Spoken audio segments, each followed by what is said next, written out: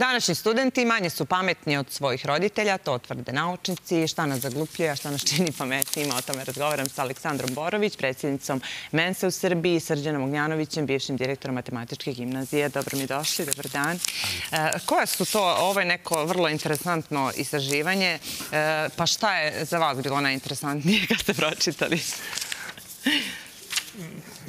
Pa donekle se slažem. Mislim, ja naravno nisam stručnjak i nisam e, toliko upućen u to, ali, ali ovako iz svakodnevnog života pratim događanja i, i kod nas i u svetu i otprilike bih mogao da se složim da, da je današnji svet, a u budućnosti će to biti sve više i više okrenuto prema veštačkoj inteligenciji, prema automatizaciji, prema pod navodnicima olakšavanju života, a opet s druge strane to dovodi u to da nam deca kasne u razvoju, da mnogo više vremena posvećuju nebitnim stvarima kao ove video igrice i tako i da, i da zbog toga zaostaju. I takođe sam čitao jedno istraživanje koje je govorilo o tome zašto su daleko istočni narodi, Japanci, Kinezi, Koreja, zašto su oni uspešniji od Evropljana, pa upravo zato što imaju jako komplikovano pismo, što deca treba da se mnogo namuče, da uopšte nauče, čitaju i pišu, a e, to je kod nas sve pojednostavljeno, uprosteno i tako. Dakle, da bi se nešto postiglo, da bi se napredovalo, treba malo i da se pomuče. Deca već na uzrastu tom osnovne škole, a kasnije da ne govorimo.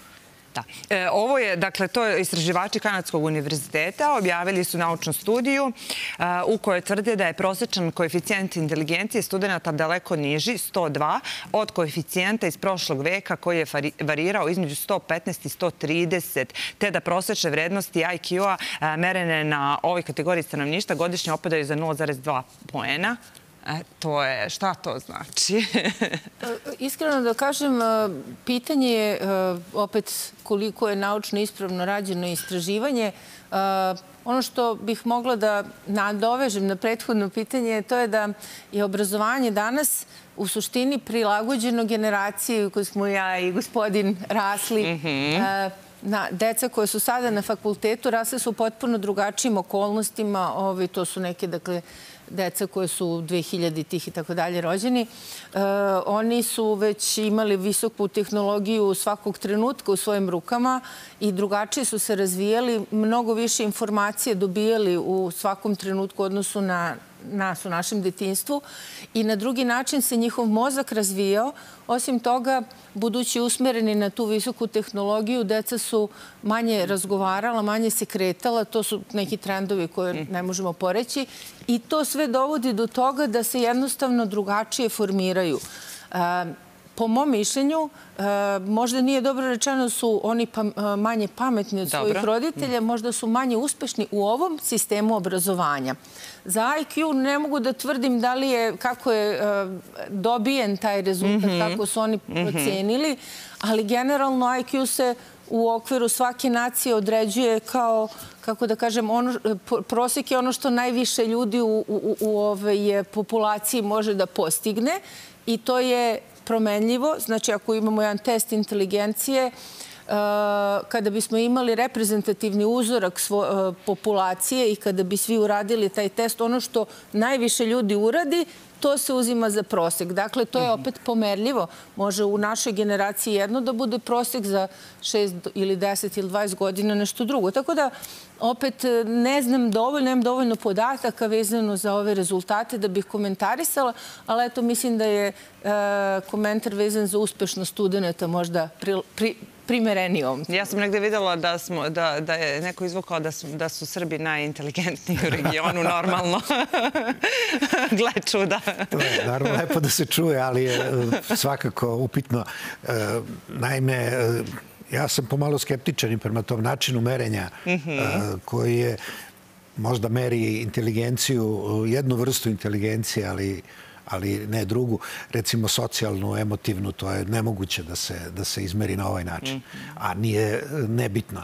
Tako da su i sa ta pitanja na tim testovima nekako više okrenuta onima koji rade, vežbaju, uvežbani su u matematičkom smislu, a recimo za vrhunske umetnike, za ne možemo da kažemo sada Mozart nije bio inteligentan ili ne znam uh, Beethoven, ali uh, pitanje je kako bi se snašao u testu gde treba da neku vrstu kombinatorike, neku matematičku logiku ispolji. Dakle, nije samo ta matematička inteligencija presudna. -hmm, da. E, da li, e, e, pa da, to, e, često se pitamo šta uopšte znači taj visok koeficijent inteligencije. Da li, šta, šta to znači?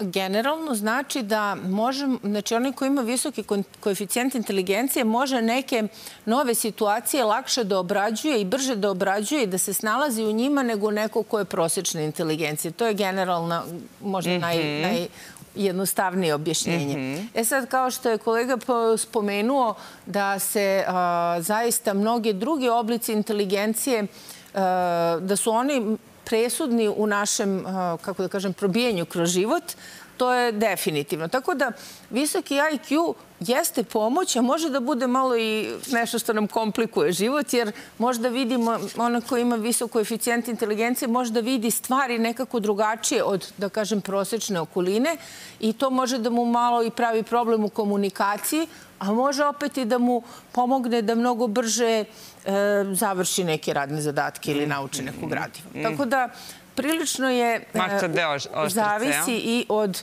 emocionalne, socijalne inteligencije i tih drugih faktora. Mm -hmm. to je ja bih mogao možda ne primjer iz matematičke gimnazije gde sam mm -hmm. godinama proveo. Tu dolaze deca koji, pa ne sumnjam da su više inteligencije od proseka. Tu nema su nikako god da merimo.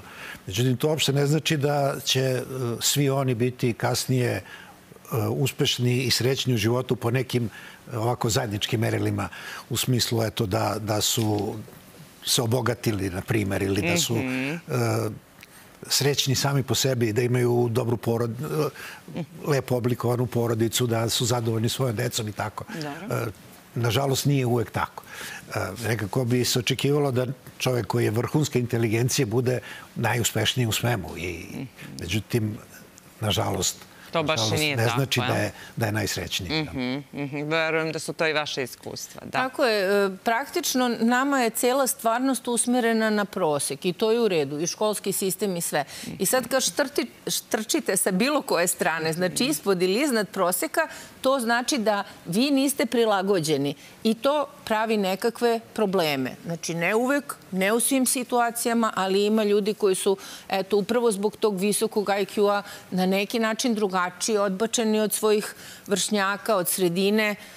Čak i u nastavi može da se desi da prave probleme, jer oni vuku na neku svoju stranu, postavljaju neka pitanja koja možda zbunjuju sve ostale i onda u tom smislu nastavniku prave problem jer uh, ipak mora da rasporedi svoje vreme na svoje đake.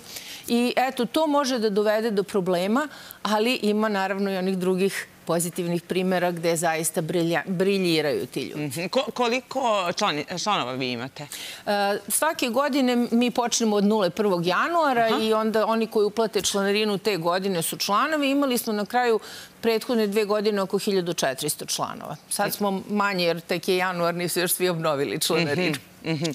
A uh, sad... E, da vas pitam ovo, neću da vas pitam koja je osoba, ali ne možete da kažete koja ima, da, da je vi poznajete, a ima najveći e, IQ. E, naš test je precizan do one vrednosti koje može da postigne 1% stanovništva i preko toga ne merimo, odnosno nije precizan taj test. Tako da svi imamo puno Aha. članova koji imaju taj maksimalni rezultat na našem testu. Koji je maksimalni dalje, rezultat? Pa više od 156, više od 156. po Katelovoj mm -hmm. skali. Tako da uh, mi ne merimo ko je sad tu najpametniji. Da, da. Ovo, ima puno ljudi koji su uspešni, pa eto, može bi to bio neki indikator da li su oni pametniji, ali zaista se ne bavimo time. Mm -hmm. Jeste li vi e, radili te testove?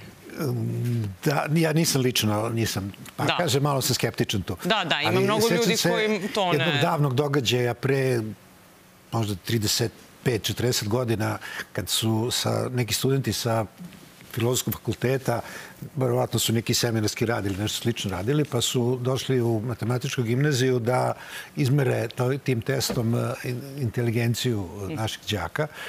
I E sad malo smo možda i mi nismo to korektni bili, pa smo izabrali baš najbolje. I, onda, I onda su oni došli do nekih neverovatnih rezultata, da sad ne sjećam se tačno. E, recimo, njima je na fakultetima koji su isto to radili, maksimum bio recimo 80%, bio neki težak test, a kod nas niko nije imao ispod 95%. Tako su oni bili zgranuti i mm. prosto pa i ti su sigurno ako oni tamo... mora su prepisivali ili tako. I ti su tamo sigurno birali najbolje. Pa verovatno, Tako da moguće, ovo se potvrđuje što sam ja rekla moguće, malo pre da. da smo mi najinteligentniji. Da, da, da. Međutim, opet kažem, to nažalost ne znači da će ti mladi da, ljudi kasnije razumem. da budu da, da srećni. Nije garancija neke, nikako, nekog nikako. uspeha. Da, da, naravno. Um, šta je još tu interesantno? Um, da... E, to, da, nemamo više vremena, nažalost. Sad ima dosta još interesantnih stvari, ali me upozoravaju da smo, da smo već probili vreme. Hvala vam mnogo što ste bili ovde danas. Hvala vama na pozivu.